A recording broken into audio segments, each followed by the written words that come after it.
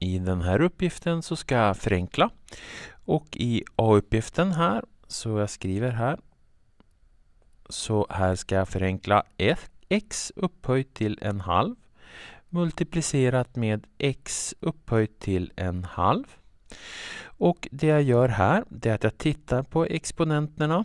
Och de här reglerna säger att jag får x upphöjt till en halv adderat med en halv och en halv plus en halv det är detsamma som 1. Så här har jag x upphöjt till 1 och x upphöjt till 1 det är detsamma som x är. Så. Och sedan har jag B-uppgiften. Så. Och i B-uppgiften så har jag x upphöjt till minus 3 dividerat med x upphöjt till minus 4. Och det jag gör här, det är att jag kan skriva om det här som x upphöjt till minus 3. Och så sen subtraherar jag exponenten här, så jag får minus parentes minus 4. Och det här är detsamma som x upphöjt till minus 3. Sen har jag minus minus, det blir plus 4. Och minus 3 adderat med plus 4, det blir x upphöjt till 1. Det vill säga detsamma som x. Sådär. Sedan har jag C-uppgiften, C.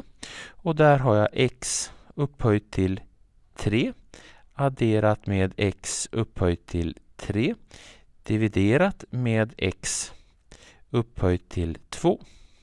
Så jag har x upphöjt till 3 adderat med x upphöjt till 3. Det är detsamma som 2 multiplicerat med x upphöjt till 3 dividerat med 2, eller x upphöjt till 2 rättare sagt.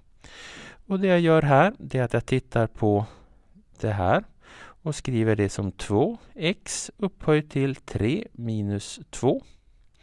Och det här är detsamma som 2 multiplicerat med x på det där sättet. Och det är uppgiften. Det blir följande då. Jag får x upphöjt till 3 halva dividerat med x. Det här kan jag skriva om som x upphöjt till 3 halva minus 1. Därför att x det är samma som x upphöjt till 1. Så då blir det den exponenten och så sen subtraherar jag 1 på det här sättet. Och det här är då detsamma som x upphöjt till 3 halva subtraherat med 2 halva. Och det här är då detsamma som x upphöjt till en halv.